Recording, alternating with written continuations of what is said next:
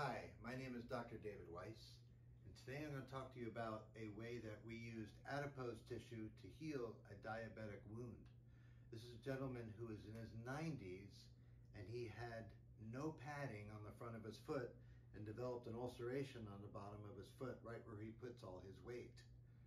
We had tried to heal this wound many ways, including keeping him off his feet, putting padding, and even using stem cell grafts made out of placenta, which worked a little bit, but it kept coming back.